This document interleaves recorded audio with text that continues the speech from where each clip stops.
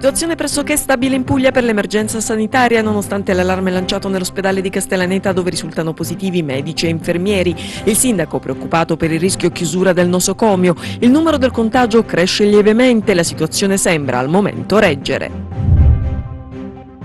La scuola ai tempi del coronavirus può attendere, dopo la decisione della ministra Azzolina già si fanno i conti col mancato rientro previsto inizialmente il 3 aprile, intanto è ufficiale gli esami di maturità non saranno semplificati. Il Covid-19 non frena la solidarietà dei volontari della gioia dell'associazione Mister Sorriso di Taranto, che mette in campo alcune iniziative a sostegno morale dei più piccoli ricoverati in ospedale.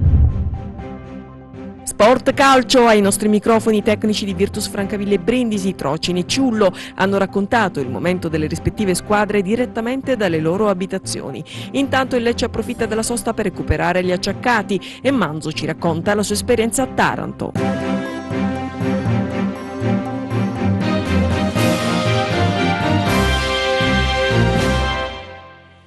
Pomeriggio come anticipato dai titoli di apertura ci dobbiamo riferire ad una situazione pressoché stabile, quella eh, pugliese per l'emergenza sanitaria da Covid-19, nonostante l'allarme lanciato nelle ultime ore nell'ospedale di Castellaneta dove risultano positivi medici ed infermieri. Il sindaco preoccupato per il rischio chiusura del nosocomio, tra l'altro lo ascolteremo proprio in diretta nel corso di questa stessa edizione del nostro TG con i vari approfondimenti perché proprio il presidente Emiliano intervenuto poco fa con la sua iniziativa in merito a questa grave emergenza che si sta registrando tra l'altro lì in questo comune della provincia ionica. Intanto per il resto della Puglia il contagio cresce lievemente, la situazione sembra al momento quindi reggere. La pandemia del Covid-19 comunque eh, continua a stressare, si parla di stress da adattamento, eppure Eppure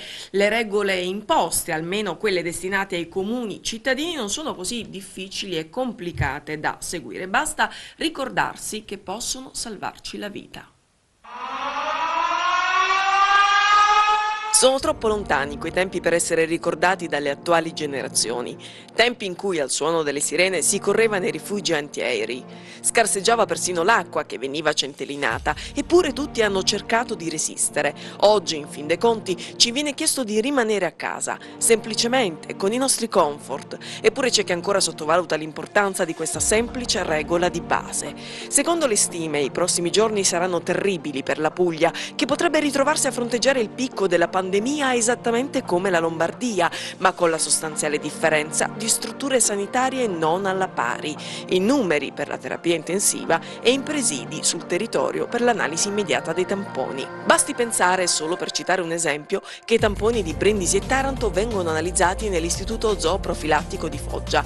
Tre ore quindi per raggiungere i laboratori, sei ore circa per l'accertamento e poi i tempi del ritorno.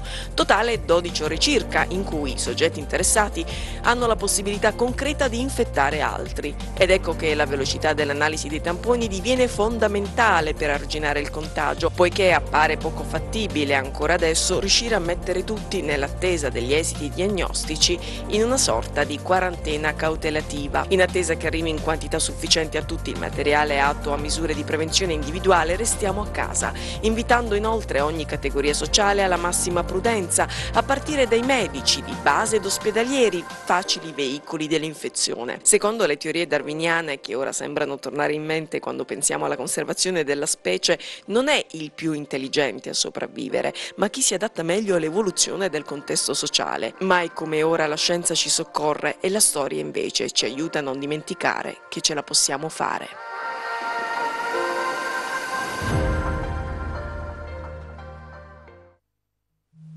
L'importanza dell'adattamento alle regole, importantissimo, fondamentale in questo momento piuttosto delicato. Partiamo allora, prima di andare nei singoli eh, territori, dal bollettino ufficiale della Regione Puglia.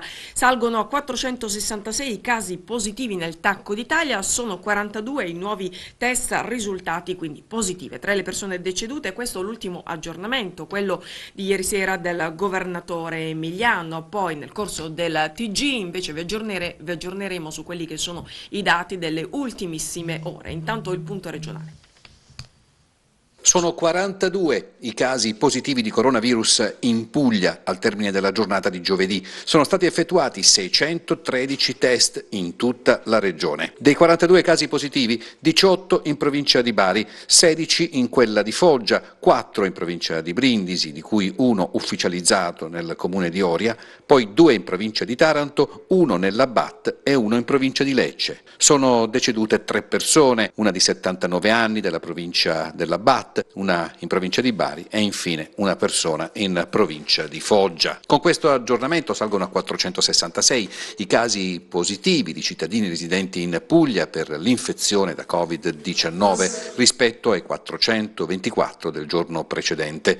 I dipartimenti della ASL hanno attivato le procedure per l'acquisizione epidemiologica finalizzata a rintracciare i contatti stretti. Come dicevamo, un caso è stato accertato nel comune di Oria, come ha detto il sindaco Maria Carone con un messaggio attraverso la pagina social Facebook. Voglio tranquillizzare tutti, ieri ho avuto certezza del secondo caso, quindi visto che si sono verificati a Oria due casi accertati.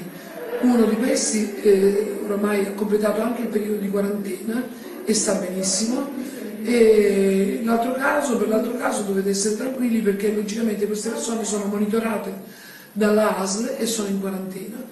Però eh, continuo a sollecitarvi di non uscire se non che per necessità urgenti.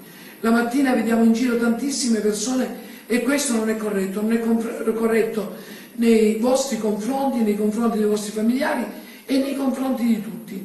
Cerchiamo di tenere di essere ordinati, di essere corretti, perché questo ci consente di portare avanti una situazione che si stabilizza in senso positivo e non in senso negativo. Quindi restate a casa. Passiamo a Brindisi, quattro nuovi casi di coronavirus nella provincia adriatica, ma ciò che preoccupa è l'alto numero di positivi rispetto alla popolazione, quindi con i numeri in maniera proporzionale. Intanto il laboratorio per l'esame dei test nel capoluogo non è stato ancora attivato.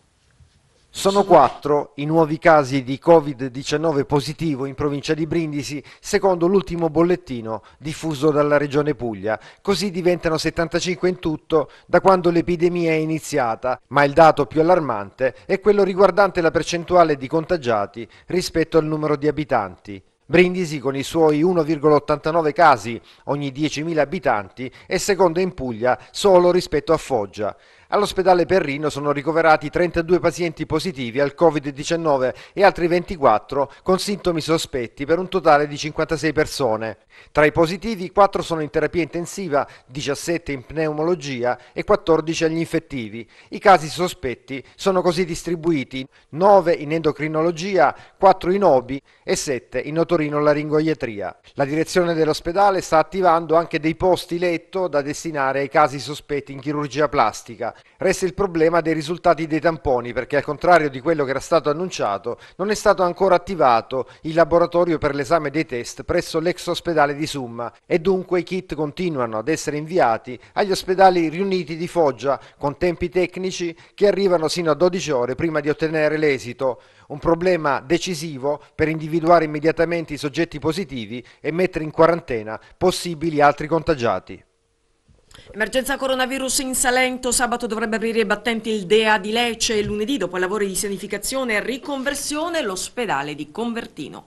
Copertino, ha dato esito positivo il test al Covid-19 effettuato su un infermiere di Gallipoli in servizio al locale nosocomio Sacro Cuore di Gesù presso il reparto di medicina. A quanto si apprende l'uomo era già in quarantena fiduciaria quando si seppe la positività al coronavirus della moglie in servizio presso il laboratorio analisi dell'ospedale San Giuseppe da Copertino. Avviate come da prassi tutte le operazioni di verifica e sicurezza del reparto. A Nardò quarantena per 16 persone dipendenti di una ditta che si occupa di lavori di manutenzione in città. Un loro collega è risultato positivo al test. Intanto lunedì prossimo dovrebbe tornare ad essere operativo l'ospedale di Copertino, oggetto in questi giorni di sanificazione e riconversione. Il nosocomio accoglierà i positivi al Covid-19. Proprio a Copertino attualmente ci sono 16 positivi e 180 in quarantena. Sabato invece, dopo le polemiche legate all'impianto di ossigenazione, dovrebbe aprire battenti il dia di Lecce. Nelle scorse ore sono stati ultimati i lavori di collegamento degli dell'impianto di rifornimento dell'ossigeno dall'ospedale Vito Fazzi al Dipartimento d'Emergenza e Accettazione. E adesso da Lecce, ci spostiamo a Ginosa, ma tra poco invece saremo collegati con Castellaneta, con il sindaco Gugliotti. In questo TG anche l'intervento del presidente della Regione Puglia, Michele Emiliano, ma eh, adesso ci spostiamo, come detto, a Ginosa, dove una donna è risultata positiva al Covid-19 nella Marina. La polizia locale lì sul posto si è attrezzata per effettuare controlli più efficaci, si è dotata di, pensate, un drone con termocamere. È proprio il caso di dire che la tecnologia, mai come in questo frangente storico per l'Italia, si rivela utile ed efficace. Ho sentito i medici dell'ASL e una nostra concittadina di Marina Reginosa è stata contagiata, la stessa è uh, ricoverata all'ospedale Moscati di Taranto e um, ho sentito anche suo marito e a loro faccio un grosso, grossissimo in bocca al lupo. Per le vie brevi i medici dell'ASL mi hanno tranquillizzato sul fatto che uh, i casi sono assolutamente, in questo caso è assolutamente circoscritto, hanno esteso le, le quarantene fiduciarie a, ai suoi familiari, lo hanno esteso anche a, ai contatti che questa persona ha avuto negli ultimi giorni e quindi adesso ci sono tutte le analisi, tutte le verifiche, però la situazione è sotto controllo ed è circoscritta. Così il virus arriva a toccare anche la città di Ginosa, come ormai da consuetudine è il primo cittadino, Vito Parisi, a fornire l'ufficialità. Intanto la polizia locale ha deciso di impiegare un drone apposito per una visione dall'alto di un'area più ampia per il miglior monitoraggio del territorio. L'apparecchio riesce a fornire in tempo reale le riprese di ciò che avviene ed è dotato di termocamera, in grado quindi di rilevare le fonti di calore. Sarà utilizzato, spiegano, soprattutto dove vengono segnalati assembramenti. Proseguono senza soluzione di continuità, fanno sapere dal comando anche i controlli in auto e a piedi. Nelle scorse ore l'attività di pattugliamento degli agenti è stata seguita in prima persona dal sindaco. Avviso alla cittadinanza, avviso alla cittadinanza, alla luce delle norme imposte dal governo centrale per gestire e contenere il virus Covid-19. E allora stiamo cercando ehm, di metterci in contatto col governatore di Puglia per un allarme lanciato nell'ospedale di Castellaneta dove risultano, lo dicevamo in apertura, nei nostri titoli positivi medici ed infermieri. Il sindaco è preoccupato per il rischio chiusura del nosocomio ma in più chiede anche ulteriori eh, chiarimenti. Nel frattempo il presidente Emiliano ha denunciato il caso accaduto all'interno dell'ospedale San Pio sollecitando il licenziamento dell'eventuale responsabile e segnalando l'episodio alla Procura. Intanto sentiamo in dettaglio che cosa è accaduto nel servizio che stiamo per proporre alla vostra attenzione. Nel frattempo vedo già collegato intanto il sindaco di Castellaneta eh, Gugliotti che sentiremo eh, immediatamente al rientro in studio e poi anche il governatore Emiliano. Regia.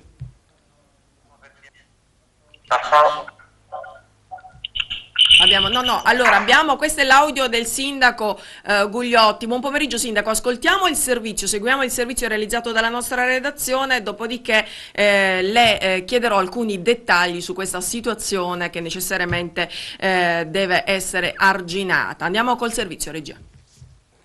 Sono sette i casi positivi al coronavirus nell'ospedale San Pio di Castellaneta. Tre sono medici, altri tre infermieri ed una caposala. Stanno bene, la maggior parte di loro non evidenzia sintomi, soltanto due ma in maniera lieve e non hanno grossi problemi. Ci sono tre casi dubbi che verranno ulteriormente esaminati nelle prossime ore. Intanto è stata avviata una verifica più ampia, sono stati eseguiti numerosi tamponi, domani si avranno i risultati. Il contagio, stando a quanto riferisce lo stesso primo cittadino, si sarebbe sviluppato sviluppato all'interno dell'ospedale San Pio. Sette casi positivi e tre dubbi. I tre dubbi devono essere rifatti, quindi verranno rifatti i tamponi a queste tre persone. Per quanto riguarda i sette casi positivi, tre sono medici primari di eh, reparti, e quattro sono infermieri, credo due siano caposala. Devo dire che di, queste, di questi sette quasi nessuno ha sintomi, credo un paio hanno uh, lievi sintomi, ma non, uh, niente di grave, quindi sono quasi tutti asintomatici. È in corso ora una campagna importante, come dire, di, di, di, imponente di eh, tamponi, quasi tutto, credo tutto l'ospedale, di, eh, tutti i dipendenti dell'ospedale di Castellanita sono eh, sottoposti quindi a tampone e avremo i risultati nella giornata di domani per avere il quadro chiaro della situazione relativa all'intero ospedale. Probabilmente, quindi è d'obbligo usare il condizionale, eh, tutta questa situazione di emergenza nell'emergenza che stiamo vivendo a Castellanita, all'ospedale di Castellanita, potrebbe essere eh, stata causata da una violazione ai protocolli quindi previsti per eh, combattere l'epidemia del Covid-19. Buon senso che forse qualcuno avrebbe dovuto tenere presente nelle proprie azioni quotidiane per la tutela dei concittadini, dei pazienti e di un intero territorio. E così lo chiediamo al sindaco Giovanni Gugliotti, finalmente la possiamo ascoltare almeno telefonicamente per tornare sulla denuncia del governatore Emiliano sul caso di Castellaneta. Emiliano sollecita il licenziamento dell'eventuale del presunto responsabile e ha già segnalato l'episodio alla Procura, un episodio grave perché potrebbe eh, derivare proprio dalla responsabilità di un medico. Buon pomeriggio Sindaco.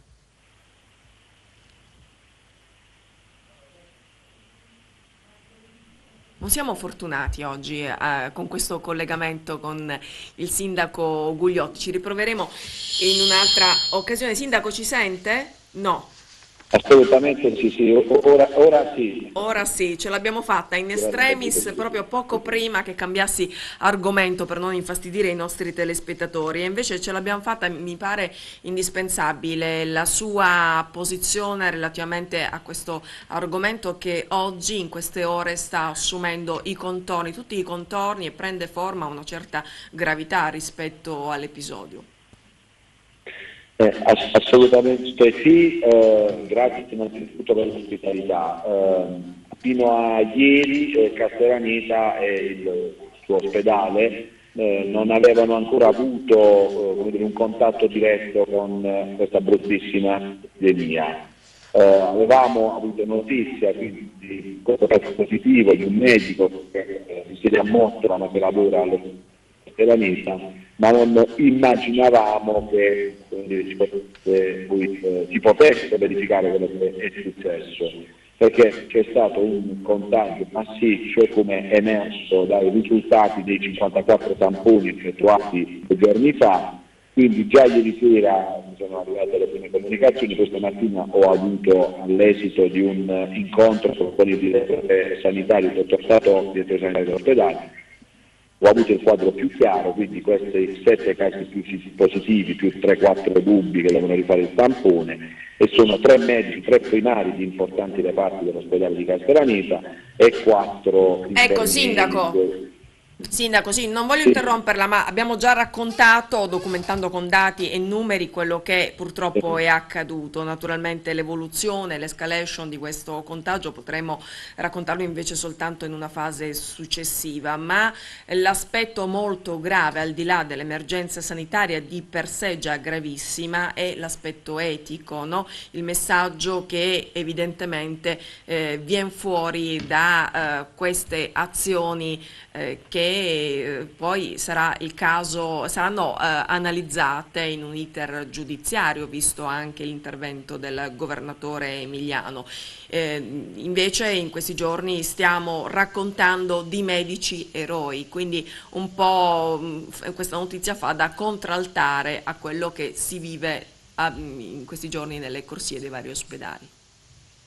Assolutamente sì, io stamattina ho potuto verificare che ci sono tantissimi medici, comunque paramedici, operatori sanitari che a rischio della loro salute, mai che in questo momento è opportuno dirlo, stanno lavorando giorno e notte per tamponare questa situazione di emergenza che eh, sta vivendo da poco purtroppo l'ospedale di Castaneta legato all'epidemia di Covid-19, ma anche per garantire il corretto funzionamento dei reparti, perché mattina era in corso un intervento di urgenza, una signora che Ha il timore che chiuda il nosocomio, sindaco? Spero di no, l'intero ospedale ho perplessità su un paio di reparti, ma rispetto a questo sto per eh, sentirmi e vedermi forse anche con il dottor Tato, il direttore sanitario del presidio, con il medico competente della Piccini e poi con il direttore Va bene Sindaco, allora intanto attendiamo aggiornamenti, ricordo a tutti i telespettatori che già sanno la prossima edizione alle 19.25, rigorosa diretta per aggiornarvi anche su questo. No, non toglietemi la linea, avete già fatto, volevo chiedere ancora, no, c'è ancora il Sindaco Gugliotti perché Sì, proprio sì, in maniera molto veloce Sindaco, perché poi dobbiamo andare avanti e chiudere il nostro telegiornale, anche perché a questo punto ci pare di capire che l'iter della giustizia farà il suo corso. In questo momento invece la salute è prioritaria e garantire la salute al territorio, tra l'altro come primo cittadino è il primo garante della salute pubblica della sua eh, comunità, quindi eh, le energie vanno incanalate in questo senso. Le posso chiedere invece al volo eh, quello che lei chiede relativamente alla chiarezza dei dati e lo fa insieme ad un altro sindaco, quello di Taranto, Rinaldo Melucci. Velocissimo sindaco. Sì, assolutamente sì. Già nei giorni scorsi noi ci siamo confrontati con tutti e 29 i sindaci della provincia di Taranto perché è successo che siamo gli ultimi che vengono a sapere se ci sono delle persone in quarantena piuttosto che delle persone positive. Quindi abbiamo chiesto una netta inversione di tendenza, i sindaci devono essere tempestivamente avvertiti, devono essere i primi a saperlo perché come detto lei sono i responsabili della Esatto. salute pubblica nelle rispettive cittadine. Grazie, grazie al sindaco Giovanni Gugliotti, ci stiamo a eh, Brindisi, parcheggi gratuiti sino al prossimo 3 aprile, lo stabilisce con un'ordinanza il sindaco Riccardo Rossi. Intanto nel parcheggio dell'ospedale sono comparsi manifesti di ringraziamento a medici e infermieri. L'amministrazione comunale di Brindisi rende noto che tutti i parcheggi a pagamento sono temporaneamente sospesi a causa dell'emergenza Covid-19. Lo ha stabilito il sindaco Riccardo Rossi con un'ordinanza che stabilisce dal 20 marzo e fino al 3 aprile la sospensione dei provvedimenti riguardanti l'applicazione della tariffazione della sosta all'interno degli appositi stalli di colore blu presenti sul territorio comunale, ad eccezione del parcheggio recintato ubicato in prossimità dell'aeroporto del Salento. Nei giorni scorsi analoga decisione era stata adottata dal sindaco di Francavilla Antonello Denuzzo e da quello di Mesagne Toni Matarrelli. Intanto nel piazzale dell'ospedale Perrino sono comparse due vele sulle quali sono affissi i manifesti di ringraziamento a nome della città ai medici e agli infermieri che in queste settimane rappresentano la prima linea nella lotta alla diffusione del virus. Intanto con un messaggio gli operatori del 118 hanno ricordato che chi chiedendo l'intervento dell'ambulanza a casa non segnala i sintomi di Covid-19, ossia febbre, tosse e difficoltà a respirare, rischia la denuncia penale perché mette a repentaglio la salute dei soccorritori che devono essere preparati ad affrontare il rischio di contagio. Si dicono preoccupati e non tutelati i pescatori di Gallipoli e poi lanciano l'appello. Questa emergenza si può combattere solo col buonsenso. Restate a casa.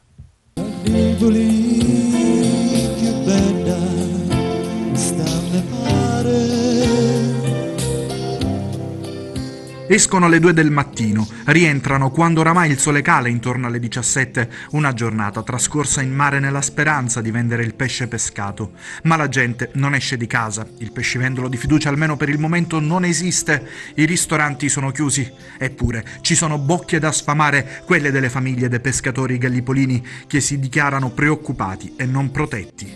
la barca piano piano bene Siamo chiamati ad andare a pescare solo con con la forza della disperazione, perché c'è stato un, innanzitutto un crollo dei prezzi, perché tutti i grossisti sono chiusi, non, non prendono il nostro pesce, i ristoranti chiusi, le pescherie tutto chiuso, promesse non ce ne sono state fatte, non ci hanno detto niente, non ci hanno detto se ci sono aiuti o meno.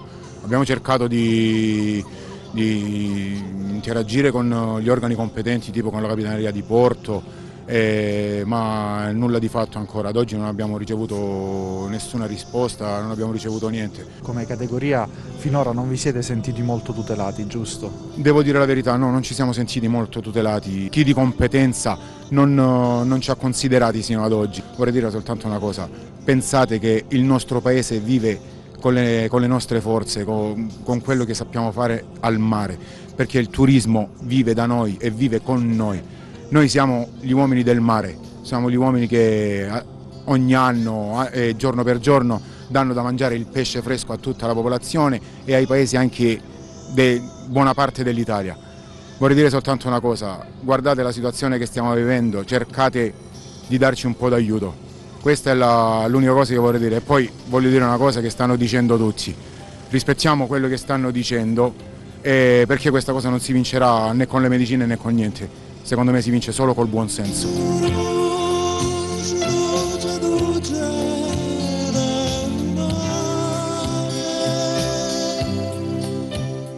L'ASL di Taranto ha presentato il piano per fronteggiare un eventuale picco, il famigerato picco di cui abbiamo parlato in questi giorni, in casi, eh, di casi positivi sul territorio ionico, ma i dati non convincono il sindaco Melucci che quindi chiede chiarimenti al direttore generale dell'azienda sanitaria Stefano Rossi.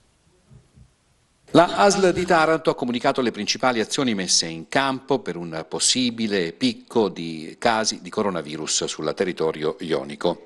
L'hub di riferimento a prendere in carico chi è affetto da coronavirus è l'ospedale Moscati, individuato quale uno dei nove ospedali pugliesi dedicati alla Covid.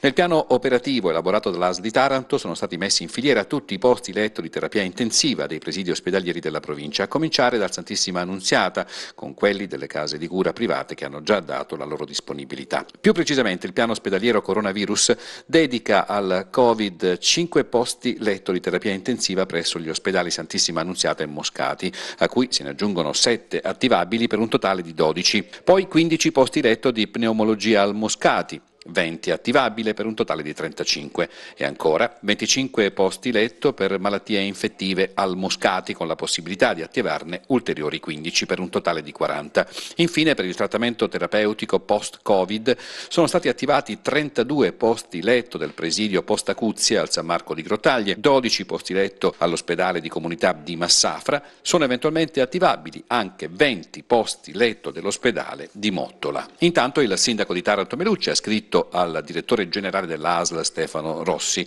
al quale chiede chiarimenti in merito a questa riorganizzazione delle strutture ospedaliere della provincia di Taranto. Un'ultima missiva il sindaco di Taranto l'ha inviata al prefetto di Taranto Demetrio Martino per chiedere quotidianamente la trasmissione delle informazioni e dei relativi dati sanitari locali. Tamponi a tutte le forze di polizia per combattere anche il virus nelle sue forme asintomatiche. Questa è la proposta del senatore Roberto Marti della Lega. Gli uomini della Polizia di Stato e tutte le forze dell'ordine devono essere tutelati con ogni mezzo in questo periodo di pandemia. Non possiamo consentire che si ammali nemmeno uno di loro. Questa è la chiara presa di posizione del senatore della Lega Roberto Marti, il quale, dopo aver raccolto l'appello del segretario nazionale della SAP Francesco Pulli, ha acceso un riflettore in questo momento di emergenza sanitaria proprio sulla sicurezza degli uomini delle forze dell'ordine gli uomini della Polizia di Stato, ma non solo gli uomini della Polizia di Stato, tutte le forze dell'ordine devono essere eh, in qualche modo tutelati da questa pandemia, porre tutti gli uomini delle forze dell'ordine eh, al tampone, perché è una situazione che porterebbe sicuramente a maggiore sicurezza, non, non possiamo correre il rischio che si ammali uno di loro, non possiamo correre il rischio che loro vadano avanti girando, perché sappiamo che questa purtroppo eh, iattura è una situazione che può colpire anche in maniera sintomatica, quindi non sappiamo quante persone loro incontrano, se gli stessi uomini delle forze dell'ordine magari sono asintomatici e questa situazione, almeno per le persone che sono in frontiera, come gli uomini che svolgono questo eh, stupendo compito in questa fase della nostra storia dolorosissima nel campo sanitario, come le forze dell'ordine, dovrebbero essere sottoposti al tampone.